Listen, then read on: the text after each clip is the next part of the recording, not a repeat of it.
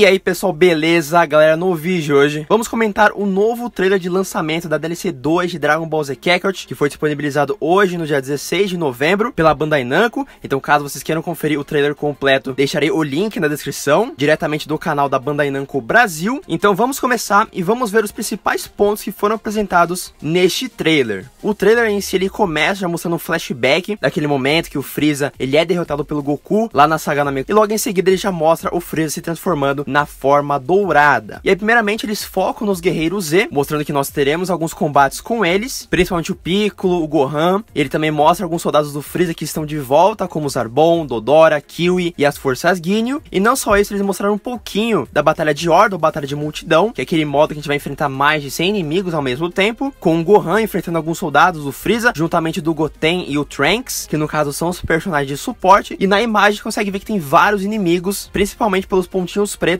para realmente perceber a quantidade enorme de personagens na batalha. O que é legal nessa gameplay é que eles mostram a nova variação do combo Z, que é a combinação Z, e que ao atingir vários soldados do Freeza vai ter uma animação destrutiva, mostrando vários inimigos sendo aniquilados ao mesmo tempo, o que é um detalhe muito legal. Eu pessoalmente gosto muito de ver essas animações com ataque destrutivo e tal. E depois de apresentar os guerreiros Z, uma gameplay deles enfrentando os soldados do Freeza, aí a gente vai para o Goku e o Vegeta Blue. E na gameplay dos dois, o que chamou minha atenção foram dois detalhes. Um deles é em relação aos combos dos personagens. Foi mostrado que quando eles entram no modo surto, o moveset ele acaba sendo diferente, ele muda, tendo movimentos totalmente diferentes do moveset anterior do God. Só não dá pra saber se esse moveset ele vai ser igual da DLC 1, que você vai na árvore de talentos e aprimora o moveset, ou se ele vai funcionar apenas no modo surto. Por enquanto essa parte ficou um pouco confusa, já que no trailer eles só mostram eles atacando no modo surto, e no vídeo gameplay do Vegeta Blue contra o Freeza, eles acabam mostrando o combo da forma God, o que deixou uma certa confusão. Outro detalhe legal são os novos ataques do Goku e o Vegeta, no caso uma versão suprema dos seus ataques principais, como no caso do Vegeta, o Ro Supremo, que tá muito legal. Realmente ele tá bem interessante por conta da distância e o tamanho do ataque. E também eles mostram pela primeira vez a animação do novo Kamehameha do Goku, que também está muito legal e muito bonito. Como sempre, a Cyber Connect 2 dando um ótimo trabalho em animações. E não só o Goku e o Vegeta Blue, o Freeza Dourado também está muito interessante, muito legal Eles também capricharam muito bem nele. E realmente dá pra sentir que não é a mesma batalha de chefe em Namek. E mais um detalhe que mostra na batalha do Goku Blue contra o Freeza Dourado é que tem um momento que os dois personagens acabam se colidindo. E quando isso acontece, os dois personagens começam a trocar vários socos e vai aumentando cada vez mais a velocidade. Como se fosse uma espécie de clash de socos. O que é uma adição muito interessante. E se for realmente um ataque de clash, igual funciona os ataques de Ki, vai trazer uma dinâmica muito mais interessante para a batalha de chefe contra o Freeza. E depois eles finalizam o trailer com o Freeza explodindo o planeta Terra, mostrando novamente que a DLC 2 ela está se baseando no arco do renascimento de Freeza,